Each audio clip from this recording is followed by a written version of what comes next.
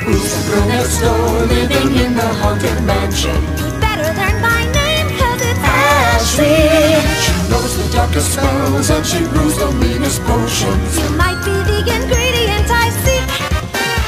Don't let yourself be fooled by her innocent demeanor. You'd better be afraid of the great Ashley. She doesn't play with dolls and she never comes to hell.